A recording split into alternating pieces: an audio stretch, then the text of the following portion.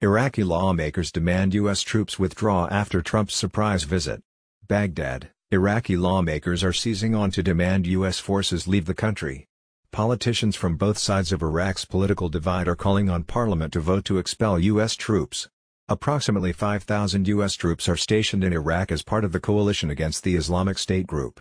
Trump's previously unannounced trip came at a time of change in the region following that he will withdraw American troops from Syria, a heavily criticized move that Trump said on Wednesday that he had no plans at all to remove U.S. forces from Iraq, while defending his decision to pull them out of Syria.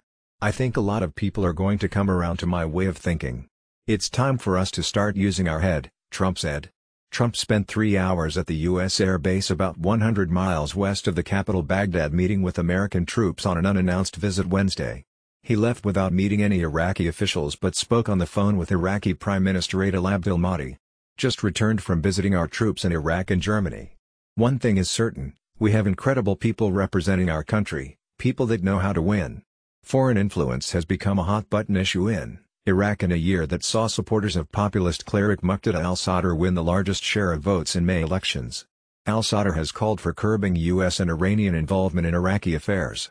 Lawmakers decried the visit as arrogant and a violation of Iraqi sovereignty. The achievements and victories achieved by Iraq, its people and its fighters will remain a great milestone dazzling the whole world and through which Iraq returned to its normal position in the region and the world, said former Prime Minister Haider al-Abadi in a statement. Such actions could harm relations between the U.S. and Iraq, as well as other countries in the region, he added. Hassan al-Kabi, the first Deputy Speaker of Parliament, issued a statement calling for an urgent session to be held to discuss the issue. Some parliamentarians are now raising questions about the purpose of American troops. The government needs to explain why there are so many American troops and the nature of their work in Iraq to meet the fears and concerns of Iraqis and the future of their country, said Nuri al-Maliki, leader of the State of Law Coalition, in a statement. The leader of an Iranian-backed Shiite militia also said the visit reflects Americans' attitudes toward Iraq, which he said disregards diplomatic norms and sovereignty.